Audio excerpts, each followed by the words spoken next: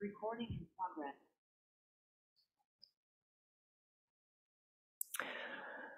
So, welcome everyone to tonight's series. Ah, sorry, jetzt kann ich in Deutsch sprechen. Herzlich willkommen zur Serie Die Gedankendiät. Weniger denken, mehr sein. Ich habe für mich selber gemerkt, man muss sich das immer wieder vornehmen. Ja, ich will weniger denken. Es lohnt sich weniger zu denken. Und warum wollen wir weniger denken? Ganz einfach. Wir wollen glücklich sein und wir wollen in unserer Kraft bleiben. Und jeder Tag ist eigentlich gefüllt mit verschiedenen Möglichkeiten, Situationen, Begegnungen, wo wir das üben können, einfach nicht denken. Aber wir wollen nicht nicht denken, sondern das richtige Ausmaß an Gedanken haben. Und die Gedanken haben, die uns Kraft geben, die uns in einer Situation erfolgreich sein lassen. So, jemand hat geschrieben als Kommentar, ja, aber ich will denken. Denken ist etwas Wichtiges und das regt auch an. Und natürlich, wir können nicht nicht denken. Aber wir können schon sagen, dass wir viel zu viel denken. Viel zu viel. Über dieselben Situationen haben wir immer wieder dieselben Gedanken. Und es sind eigentlich dann diese Gedanken, die uns die Energie nehmen, die uns die Freude nehmen. Und da können wir ansetzen.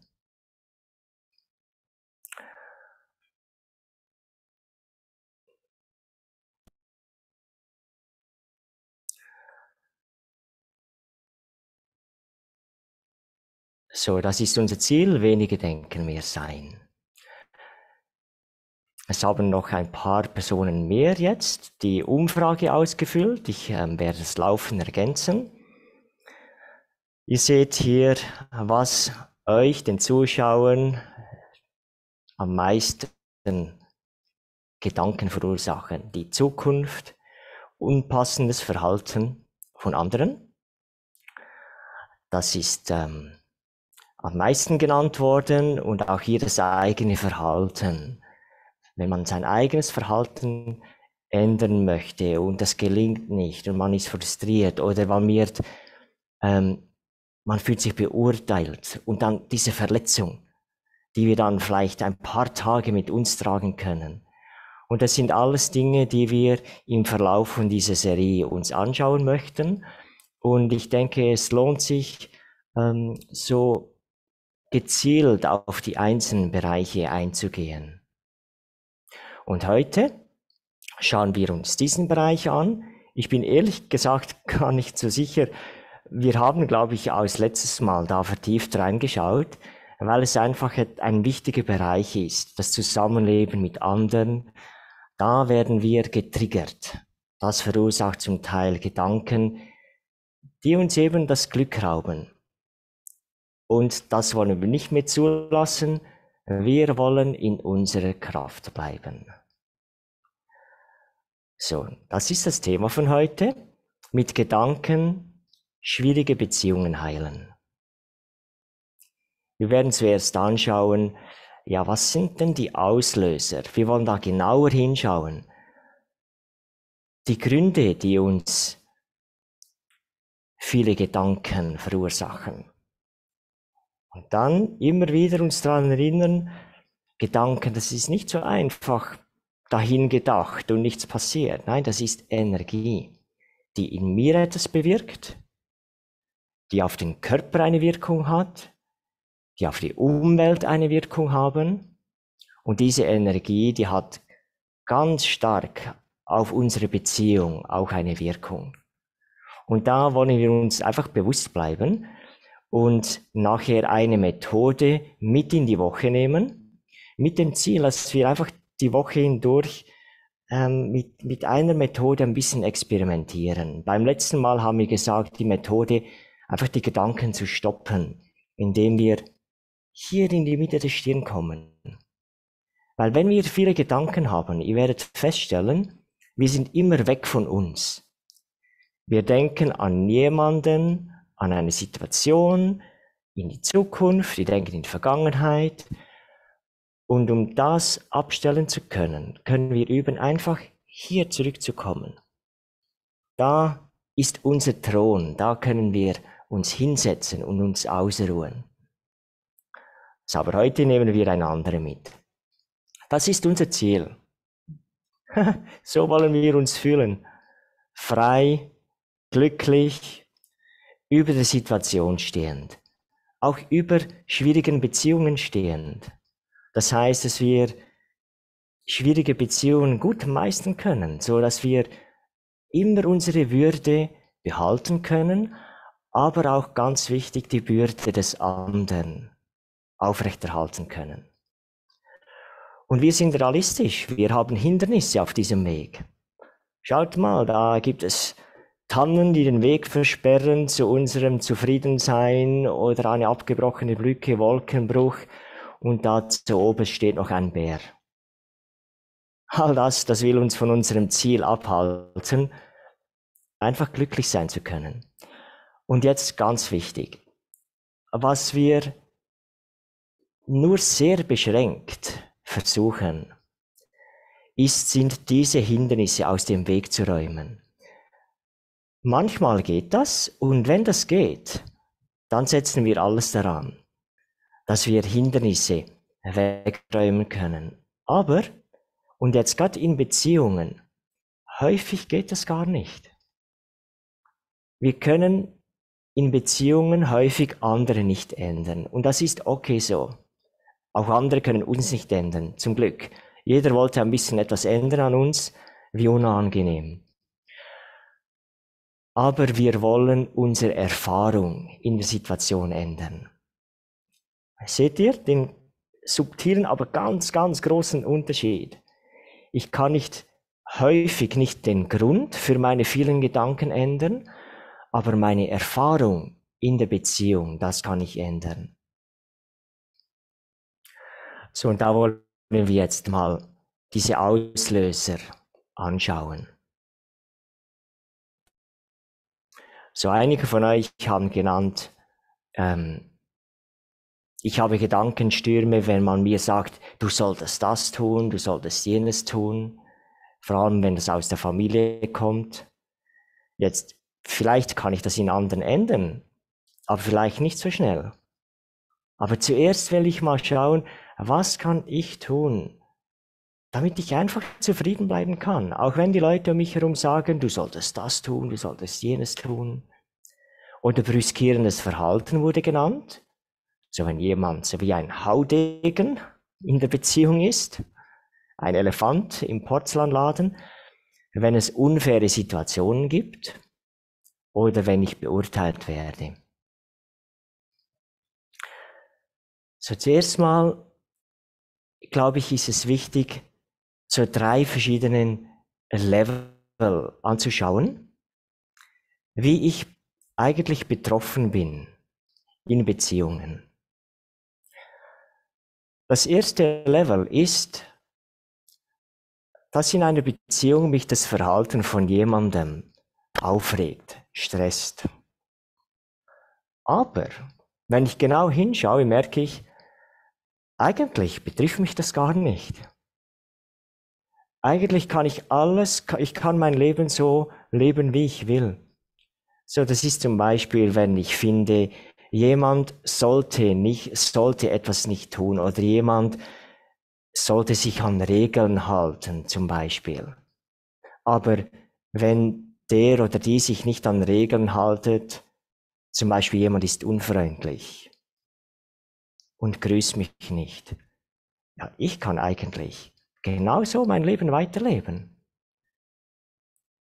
Und so merken wir, dass wir manchmal in Gedanken gefangen sind, wo wir einfach loslassen können. Und wir haben diese Kapazität. Wir können in Situationen einfach diese Gewohnheit, darüber zu denken, ah, das ist nicht richtig, das sollte er nicht tun, das einfach abzustellen. Und wir wollen heute eine Methode kennenlernen, die hoffentlich für euch auch funktioniert. So, Dann gibt es das, also das erste Level ist, wo, wo ich mich herausgefordert fühle, aber ich bin eigentlich gar nicht betroffen. Da kann ich einfach die anderen so sein lassen, wie sie sind. Okay, du bist so, alles gut. Jeder ist verschieden. Das zweite Level an Betroffenheit ist, wenn ich ähm, betroffen bin, das stimmt, aber ich kann trotzdem meine Verantwortung wahrnehmen, ich kann eigentlich ähm, ohne Behinderung, ohne behindert sein, kann ich meinem Alltag nachgehen. Ich mache ein Beispiel, ein lustiges Beispiel, aber das habe ich schon von mehreren Leuten gehört. Das berühmte Sockenbeispiel. Man lebt in einem Haushalt und andere lassen die Socken herumliegen. Und das ist natürlich nur ein Beispiel, das könnte irgendwie etwas sein, aber so die kleinen Dinge, die andere tun und wir mögen es nicht.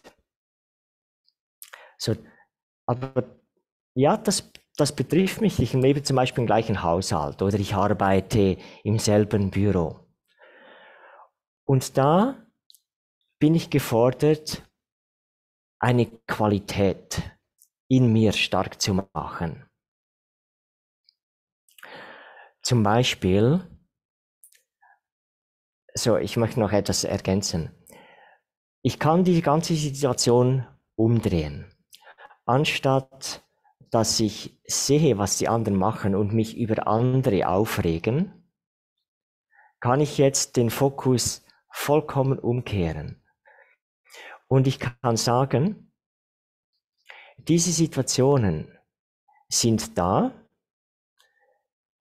damit ich üben kann, bis ich in meinem Frieden blei bleiben kann. Ich komme jetzt zurück auf das Sockenbeispiel. Das heißt, ich gebe den Kampf auf, andere überzeugen zu wollen, dass sie nicht ihre Socken rumliegen lassen oder dass sie im, im Office aufräumen sollten, den Küchenbereich aufräumen sollten, obwohl ich das schon mal oft gemacht habe und ich merke, es nützt nichts. So, jetzt drehe ich das um und ich, ich versuche nicht mehr, das im Außen zu ändern, sondern ich versuche nur noch das in mir zu ändern. Und ich sage mir, ich spreche nicht mehr über diese Socken, bis ich innerlich nicht mehr berührt bin. Ich nehme das als immer als Training für mein persönliches Wachstum.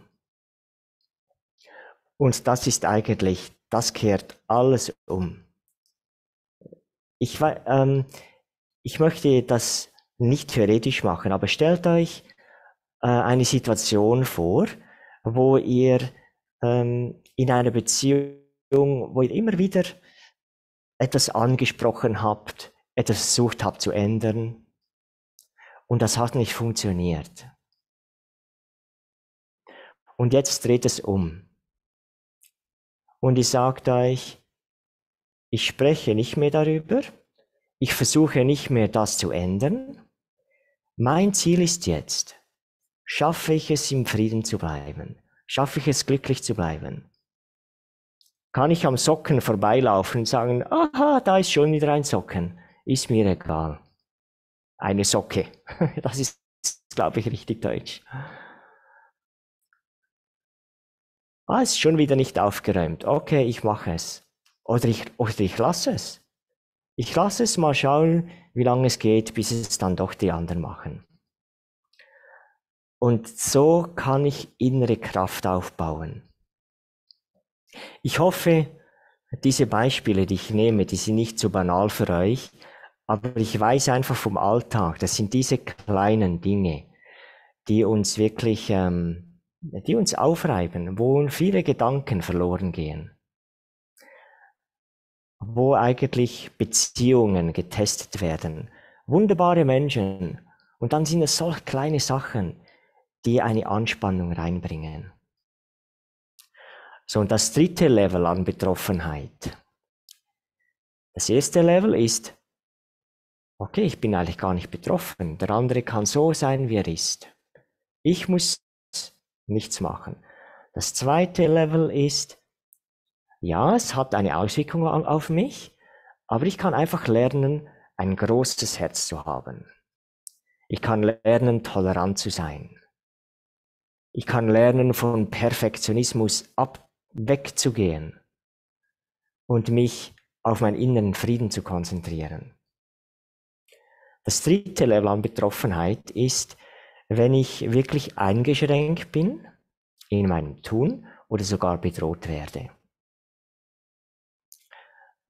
Da übe ich nicht an, oh, ich muss einfach schön tolerant sein. Nein, da mit Würde, Ruhe und Selbstrespekt kann ich mir Hilfe holen oder nötige Schritte einleiten. Aber das ist ein hohes, ein sehr hohes Level an Betroffenheit. Meines Erachtens, wo ich eingeschränkt bin oder bedroht bin, bei vielen Sachen kann ich einfach ablassen. Und was dann passieren wird, ist, wenn ich, das ist ein subtiles Spiel der Energien. Solange ich mich über etwas aufrege, wird das zu mir kommen. Oder die Tendenz ist, dass die andere Person in dieser Beziehung das weitermacht. Und nicht aus Boshaftigkeit. Ich glaube wirklich, das ist ein Spiel der Energien. Wenn ich es schaffe, frei zu bleiben, respektvoll zu bleiben, mich nicht mehr aufzuhören, aufzuregen, dann ändert sich das. Ich möchte eine, eine Geschichte vorlesen, die uns auch bewusst macht, ähm, wie wir manchmal sehr beeinflusst werden in Beziehungen von Annahmen. Also eine kurze Geschichte. Herr Sauter von der Marketingabteilung hat sich in letzter Zeit negativ verändert, was auf die Stimmung in der ganzen Abteilung schlägt. Er ist unhöflich, wortkarg und ungepflegt. All die netten Mitarbeiterinnen und Mitarbeiter haben viel Gutwill gezeigt und versucht, ihm ohne Vorurteile zu begegnen. Dass er am Morgen niemals grüßt, ist schon sehr unachtsam. Guten Morgen sagen kostet ja nichts. Dauernd vergisst er Dinge und schiebt die Schuld anderen zu. Gestern hat ein Mitarbeiter anlässlich seines eigenen Geburtstages Süßes für die Kaffeepause mitgebracht. Alle standen vergnügt und dankbar da, aßen und plauderten einen Moment. Dann kam Sauter, nahm sich ein Kuchenstück und ging, ohne sich zu bedanken, wieder weg. Wir nervten uns alle. Am Nachmittag fehlte er und niemand wusste wieso. So merkt ihr, was mit den Gefühlen passiert, wenn ihr diese Geschichte zuhört? Schauen wir weiter. Doch heute Morgen wurde es allen zu viel weil Frau Wiederkehr ihn ein zweites Mal um das Passwort für eine äh, geschützte Excel-Datei gebeten hatte, schrie er sie laut an, knallte seine Agenda auf das Pult. Frau Wiederkehr erstarrte vor Schreck, was aber Herr Sauter nicht dazu bewog, sich zu entschuldigen. Was für eine Person, dieser Herr Sauter. Jetzt geht's weiter. Heute Nachmittag ist die Stimmung gut. Sauter ist an einer externen Schulung. Da kommt Frau Blum vom HR, also von der Personalabteilung, und lässt alle Mitarbeiterinnen und Mitarbeiter der Abteilung versammeln. Sie informiert, dass das Kind von Herr Sauter an Krebs erkrankt sei und nicht mehr lange zu leben hätte. Sie bittet alle, mit Herrn Sauter nachsichtig zu sein und stellt in Aussicht, dass er eventuell ein paar Tage von der Arbeit wegbleiben würde, falls die Belastung für ihn zu groß wäre. Am nächsten Tag öffnet sich die Bürotür. Herr Sauter kommt zu spät. Er sieht übernächtigt und ungepflegt aus, schlecht gelaunt und sehr traurig.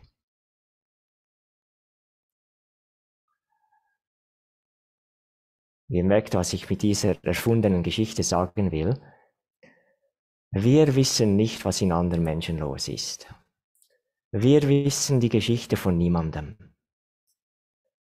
Wir wissen nicht, mit was für einem Päckli eine Seele auch kommt von, von vorherigen Leben oder aus Belastungen jetzt in der Familie, an der Arbeit. Wir wissen einfach nicht. Und deshalb können wir uns auch sagen, wenn sich andere schwierig verhalten gegen uns, ja, ich weiß nicht warum. Ich weiß wirklich nicht warum. Und so ist es immer gut, irgendwie ein großes Herz zu haben, ein starkes Herz selber, nicht so empfindlich sein.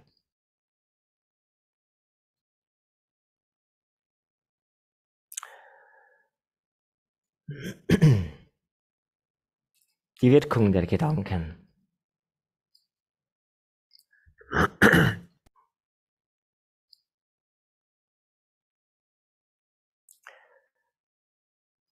Wenn es in einer Beziehung schwierig ist und ich konstant negative Gedanken habe über diese Person, dann ist es Energie, die konstant, die konstant fließt. Erstens mal erschaffe ich in mir selber Spannung. Das passiert als erstes. Spannung im Geist. Dann Spannung im Körper. Und dann diese Energie, die, die ist auch wirksam über Distanz. Und die andere Person, die, die empfängt das und die ist dann auch verunsichert. Es gibt, nie, es gibt kaum etwas, das einem so sehr, sehr verunsichert, als wenn man merkt, jemand mag mich nicht. Es ist schwierig, nur, nur schon zum Beispiel locker zu sein. Es ist selbst schwierig, ehrlich zu sein vor jemandem, von dem ich weiß, dass er mich nicht mag. Es ist auch schwierig, natürlich zu sein. Es ist sehr schwierig, mich zu ändern. Und so, wir müssen uns bewusst sein, dass diese Energie einen Einfluss hat. Und so wie wir über andere denken, hat einen Einfluss auf andere, auf mich, aber vor allem auch, wie ich über mich selber denke. So, wenn ich mich innerlich sehr gut fühle, entspannt bin, wenn ich innerlich glücklich bin, dann kann ich ganz anders in Situationen umgehen. Und dann, dann schaffe ich es viel mehr, nicht über die herumliegenden Socken zu denken, Und das ist eine Methode, die ganz wichtig ist, die wir jeden Tag für uns anwenden können. Das Gespräch mit uns selbst. Und zwar ein sehr liebevolles Gespräch. So wie man einem Kind erklärt, hey, komm, das spielt doch keine Rolle. Lass das sein. Lass das sein. Denk nicht mehr darüber nach. Der andere ist okay. Das sind doch kleine Dinge. Sei glücklich. Bist einfach zufrieden. Sei zufrieden. Sei kraftvoll. Mache den anderen zufrieden. Ihr könnt es mal ausprobieren. Einfach mal so fünf Minuten zu sprechen. Das ist sehr schön, die Wirkung. Ich, jetzt, wo ich mit euch so spreche und das ausprobiere, ich merke innerlich, wie mir das gut tut. Und wie, wie irgendwie das Herz wächst. Und so, und das ist sehr heilsam für die Beziehung mit mir selber und natürlich dann mit anderen auch. Wenn ich so mit mir spreche, komm, sei einfach glücklich. Denk nicht über solche Belanglosigkeiten nach. Die Welt braucht jetzt Leute, die es schaffen, nicht über kleine Dinge nachzudenken. Full stop da. Es ist eine sehr, eine sehr wichtige Methode, so mit sich zu sprechen. So, jetzt kommen wir zur Methode für die nächste Woche. Einfach etwas, das ich euch vorschlagen möchte. Wie könnt ihr experimentieren?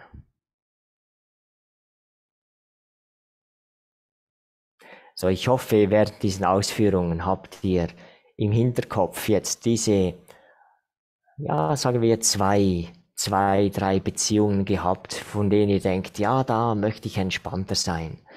Da möchte ich weniger beeinflusst sein. Und jetzt, wenn wir über die Methode sprechen, dann denkt auch an diese Beziehung. So, ich habe in dieser kleinen Umfrage, haben wir euch gefragt, ja, was sind denn eure Methoden, um ähm, Gedanken zu entspannen, um euch innerlich zu entspannen, die Gedanken zu kontrollieren. Und es sind sehr schöne Dinge, die ihr genannt habt. Und die sind hier aufgelistet. Einige haben gesagt, einfach loslassen. Jemand hat gesagt, Meditation. Andere Musik hören. Jemand hat gesagt, mit dem inneren Kind sprechen. Sehr schön. Jemand hat gesagt, ich achte auf meine Atmung. Oder ich suche ein Gespräch. Jemand hat gesagt, ich mache Erdungsübungen, dass man sich geerdet fühlt, dass man nicht von kleinen Dingen so beeinflusst wird. Jemand sagt, ich gehe einfach weg.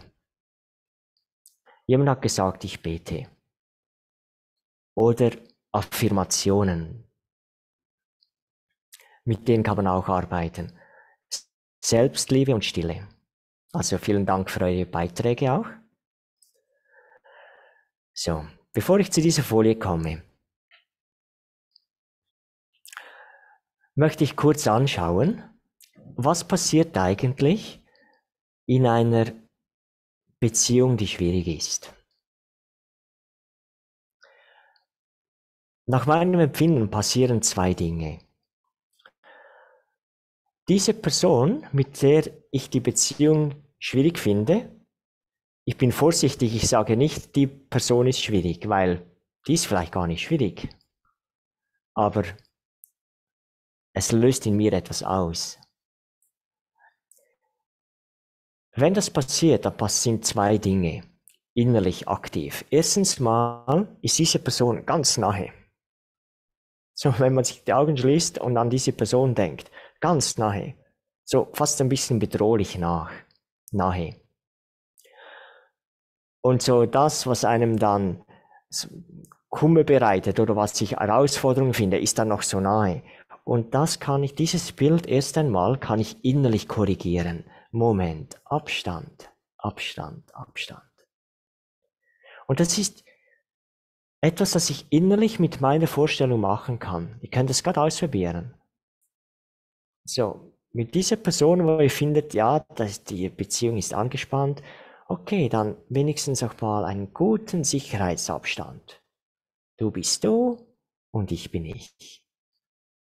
Und diesen Abstand immer wieder herstellen, immer wieder herstellen. Das gibt mir mal ein Gefühl der Sicherheit. Zweitens, vor allem wenn ich zum Beispiel kritisiert werde, wenn jemand riskierendes Verhalten zeigt, so ganz stark auftritt, fast ein bisschen, fast ein bisschen gewalttätig, oder wenn jemand sagt, ähm, mich beurteilt oder du solltest das tun. So, erstens mal ganz nahe ist das innerlich. Zweitens, ich, ich tue verallgemeinern, das ist mir völlig klar. Zweitens, fühle ich mich klein und die andere Person ist in meinem Empfinden groß und stark und übt einen mächtigen Einfluss auf, aus mich, aus auf mich. Das heißt, ich, ich fühle mich als Opfer, ja, ich bin klein und ich kann nichts ausrichten. Und der andere ist groß und stark. Und dieses Bild ist meine eigene Schöpfung. Dieses Bild ist meine eigene Schöpfung. Und diese eigene Schöpfung, die kann ich innerlich verändern. Und zwar komme ich in meinen Selbstrespekt, in meine Würde, in meine Kraft.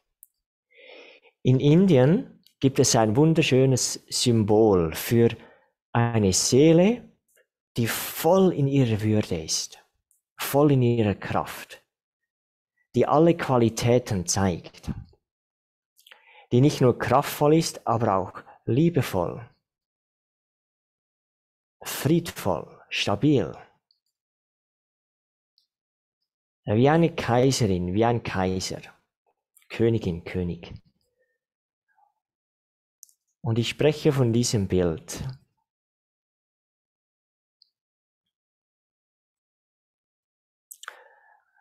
So Lakshmanareien.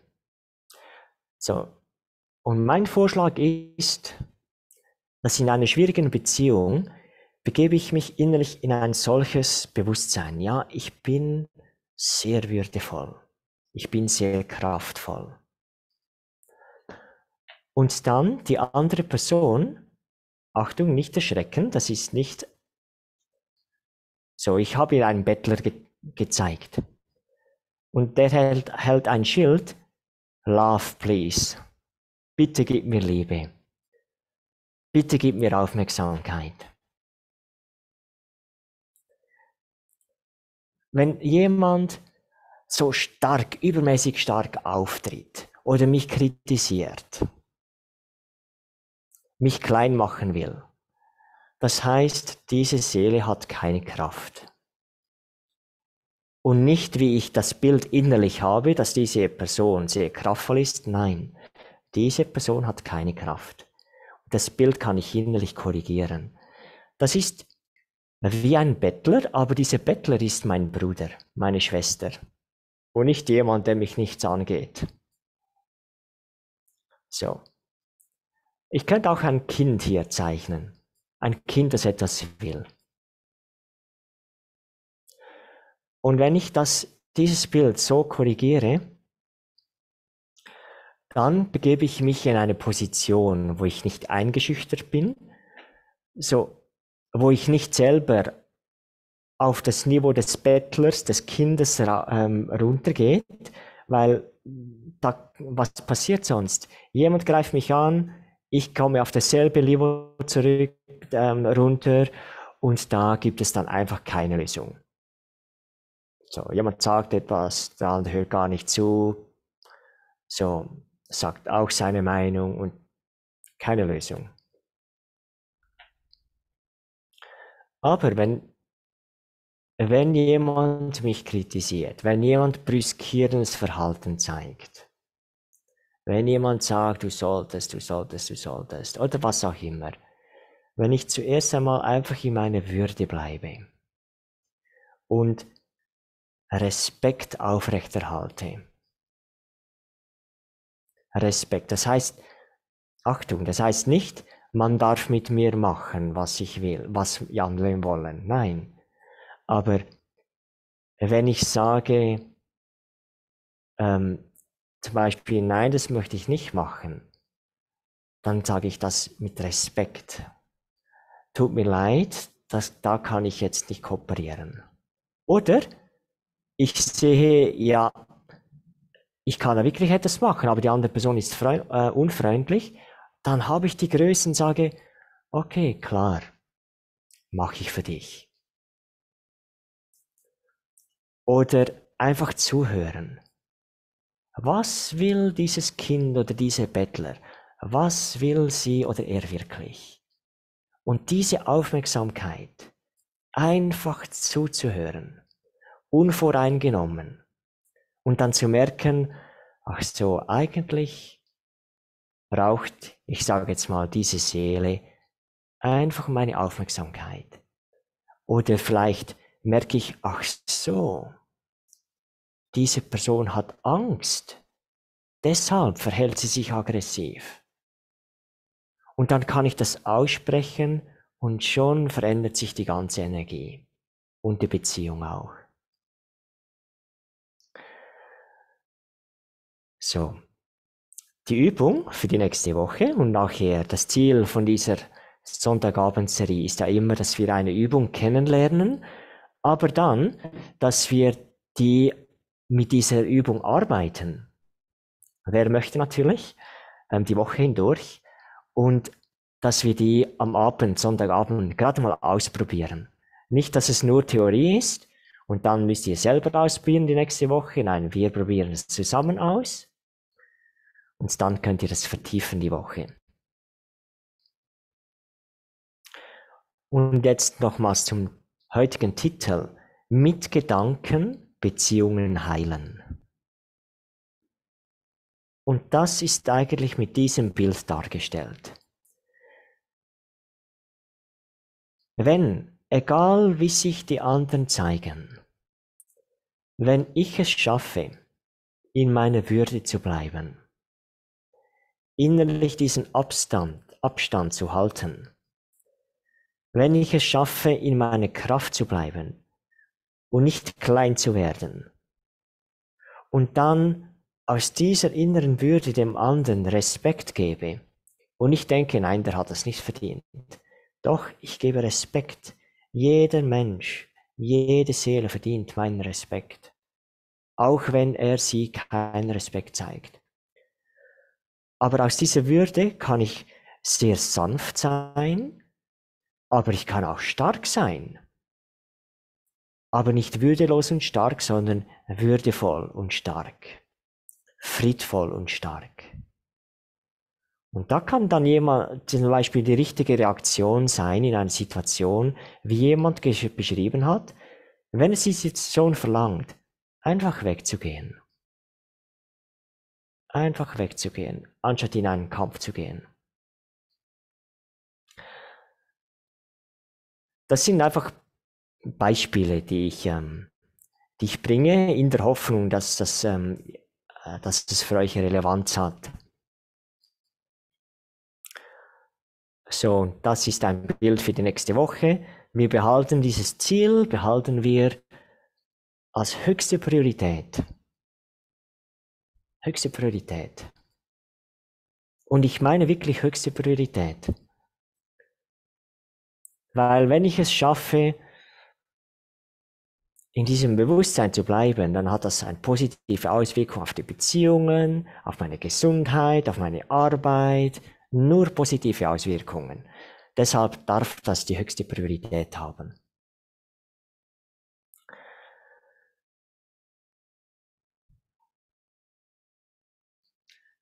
So.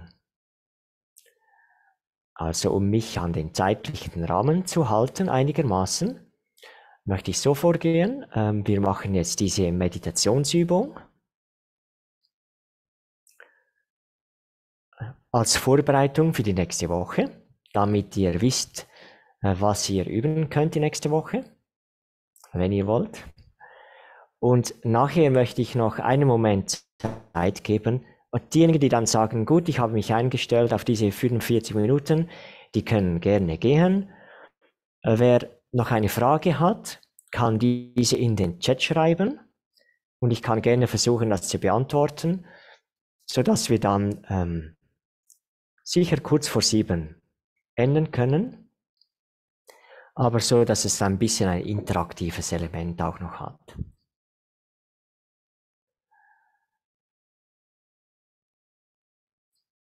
Okay. Dann machen wir diese Übung jetzt für uns mal live, damit wir ein Gefühl dafür bekommen. Setzt euch gerade hin.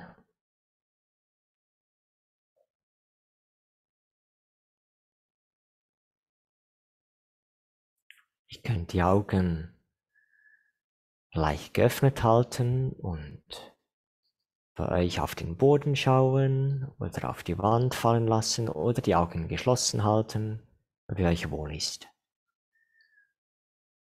Ihr könnt auch auf dem Bildschirm auf diesen Lichtpunkt da hinten schauen, das geht auch.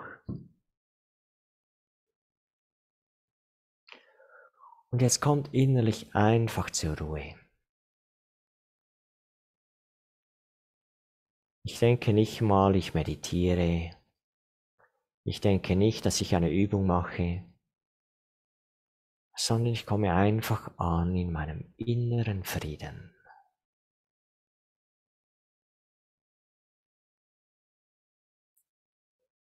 Ich werde innerlich ganz friedvoll, ganz entspannt, sehr weich und sehr stark.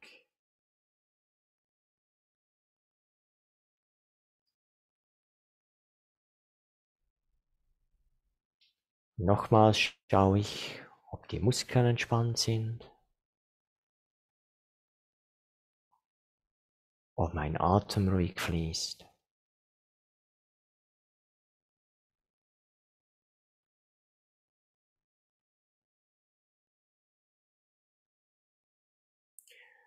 Und dann erschaffe ich innerlich ein Bild von mir, wie ich groß, liebevoll und stark bin. Du kannst ein Bild nehmen, das dich inspiriert oder dich selber vorstellen. Und stell dir vor, wie Körper und Geist sich ausdehnen, ausdehnen, ausdehnen. der Körper und der Geist innerlich. Dehnt sich aus, dehnt sich aus, dehnt sich aus.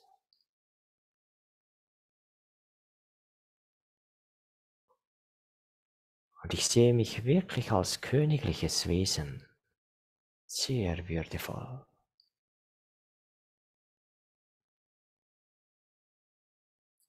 Sehr kraftvoll.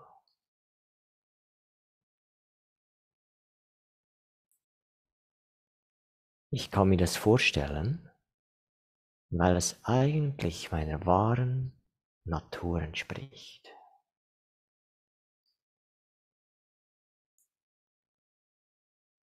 Sehe dich und fühle dich innerlich sehr kraftvoll,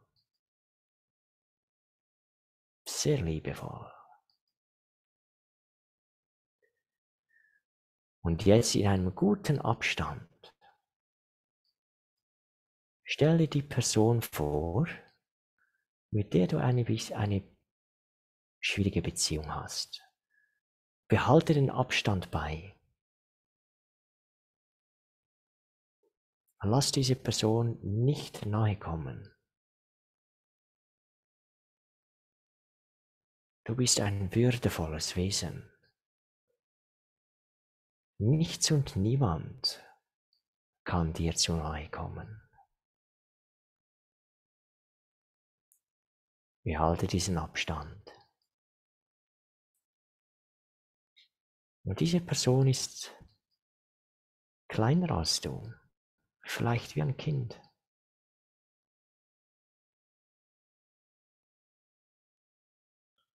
Und verstehe, dass diese Person dich vielleicht nicht richtig behandelt, weil sie keine Kraft hat.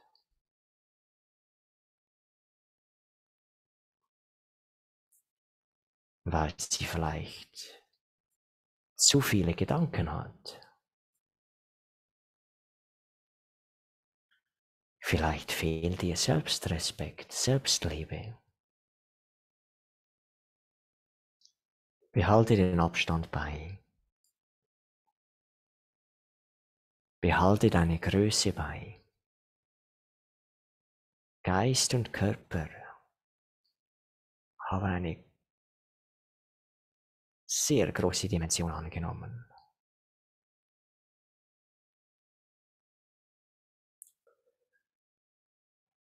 Und jetzt bringe dieser Seele, dieser Person vor dir einfach gute Gefühle entgegen.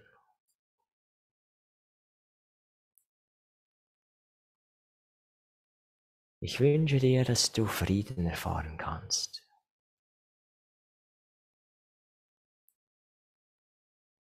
Ich wünsche dir, dass du dich lieben kannst.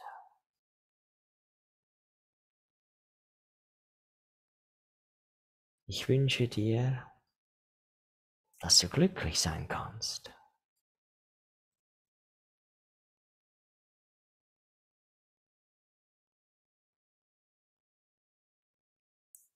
Und jetzt noch eine Minute, halt an diesem Bild fest. Mit guten Gefühlen für dich mit guten Gefühlen für die andere Person. Sehe, wie sie lächelt.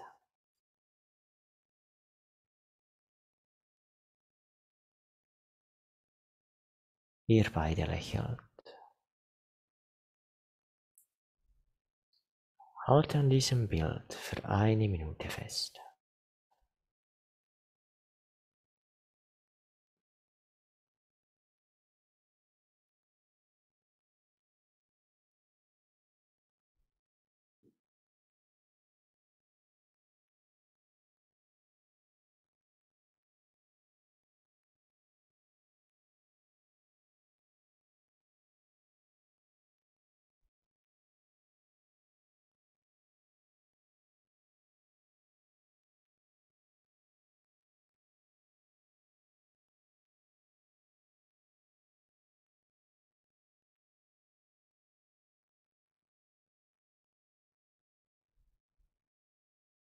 Okay, vielen Dank.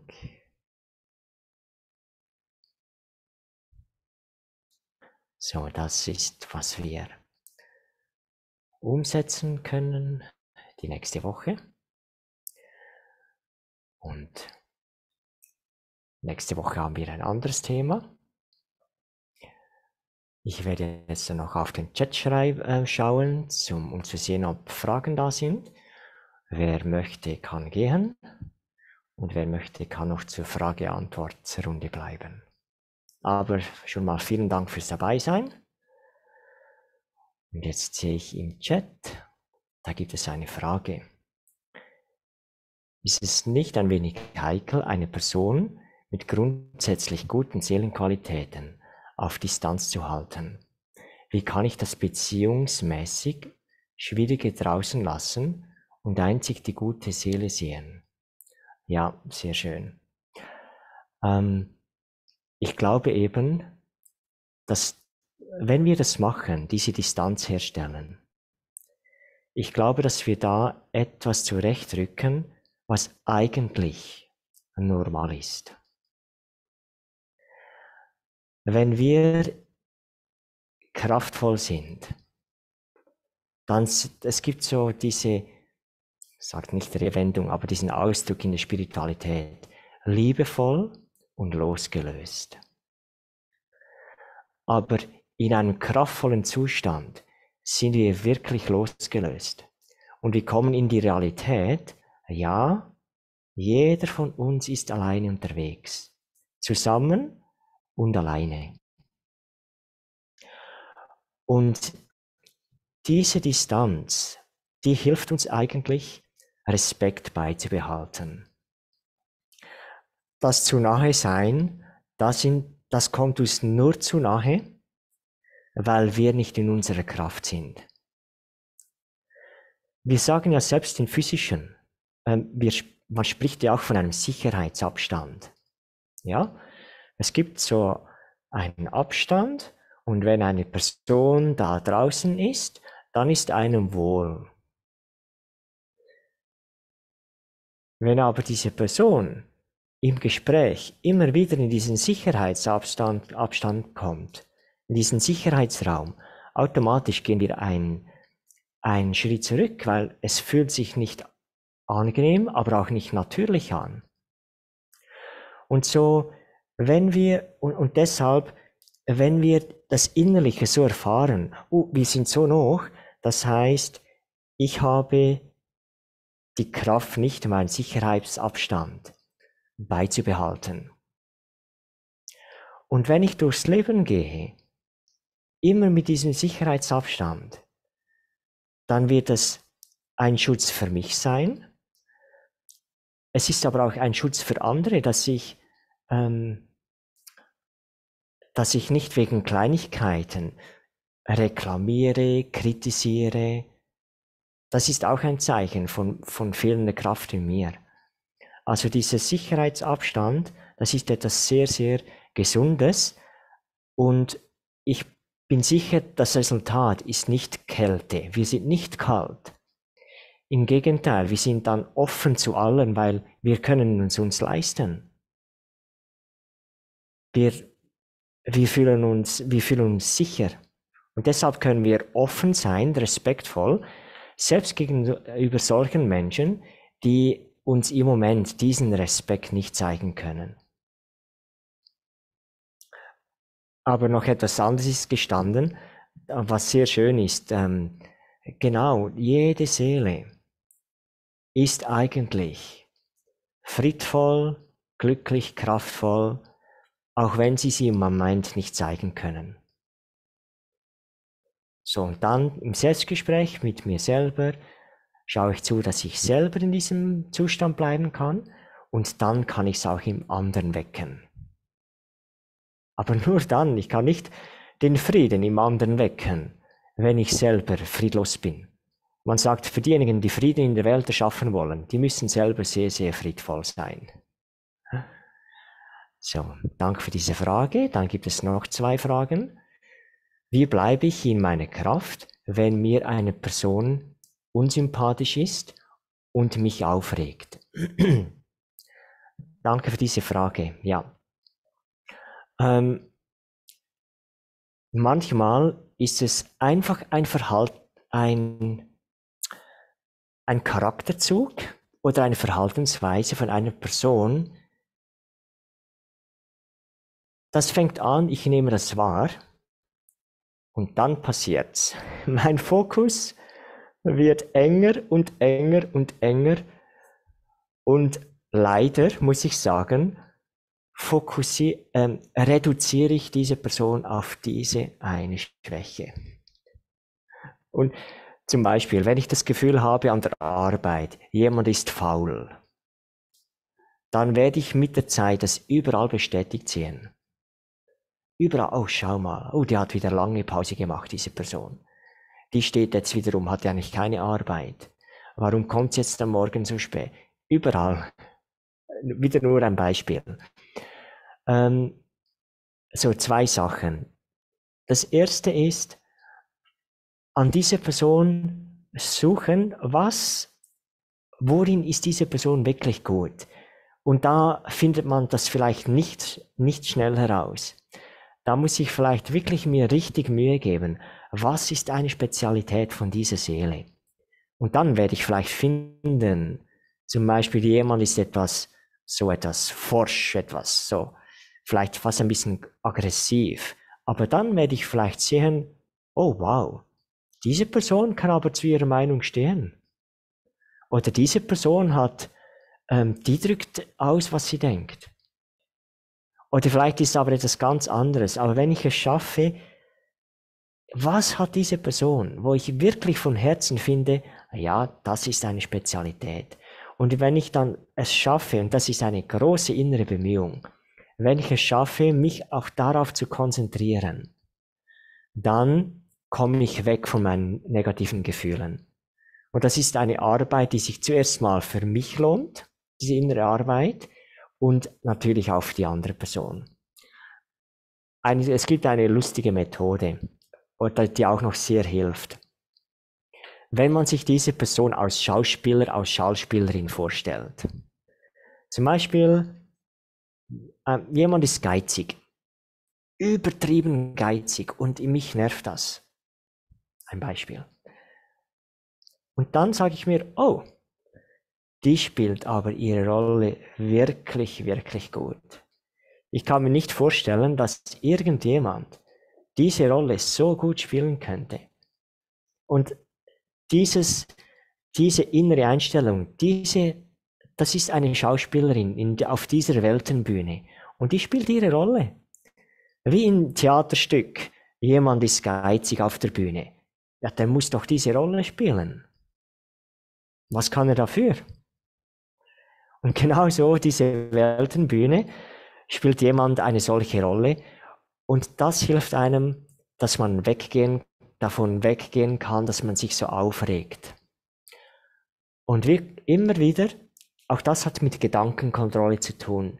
Nein, ich entsage jetzt, ich verzichte darauf, mir innerlich wieder zu sagen, ja, schau, es ist so und das hat sie jetzt wieder gemacht und das wird wie eine Sucht dass wir über die Schwäche von jemandem nachdenken. Und da entsagen wir und sagen, ach komm, Schau doch mal, wie die das gut macht, wie die ihre Rolle perfekt spielt. Und schau, dafür hat sie diese Qualität. Für diese innere Selbstdialog ändern, meine Gefühle ändern sich, meine Beziehung ändert sich. Und da kann ich wirklich sagen, dafür lege ich die Hand ins Feuer. Mein innerer Dialog ändert sich, mein Gefühl ändert sich und dann die Beziehung ändert sich. So, und dann das letzte noch. In my imagination, I put a person far away, but he escapes and comes towards me. How can I keep him away? He uses all tricks to come closer. so good. Great. Thanks so much. So, Jafar schreibt, wenn ich mir das vorstelle, dass diese Person im Abstand ist, dann entwischt er immer wieder. Und er kommt immer wieder, mit anderen Tricks kommt er immer wieder näher. So, und dann was kann ich machen?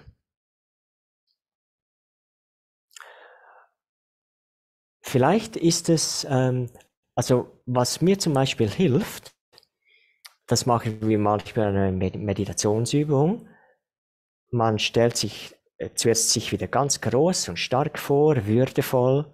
Und dann kann ich mir vorstellen, dass eine dicke Glasmauer, eine dicke Glasmauer und hinter dieser Glasmauer befindet sich diese Person.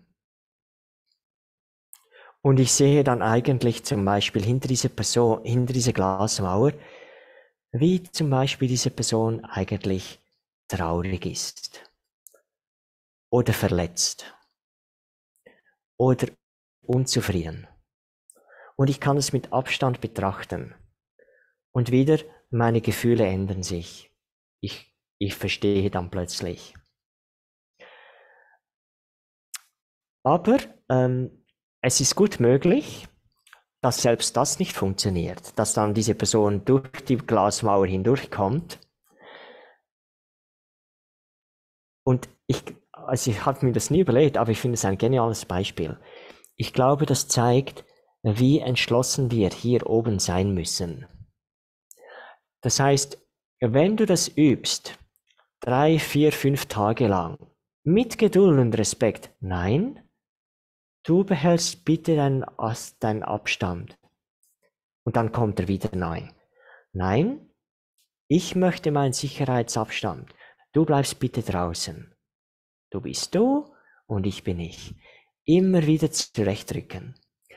Bis das eigene Bewusstsein akzeptiert, jawohl, ich kann diesen Abstand einhalten. Wenn es nicht geschieht, heißt das, dass ich innerlich selber nicht wirklich akzeptiere, dass ich das kann. Oder dass sich der andere daran halten kann. Und einfach das Bild wieder zurechtrücken. Mit Geduld, mit Geduld.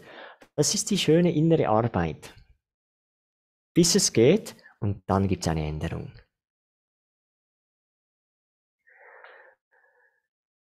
So, okay. Dann möchte ich an dieser Stelle abschließen. Ich danke euch vielmals fürs Dabeisein und ich hoffe, wir sehen uns beim nächsten Mal am nächsten Sonntag. Eine gute, kraftvolle Woche. Um Shanti und auf Wiederschauen.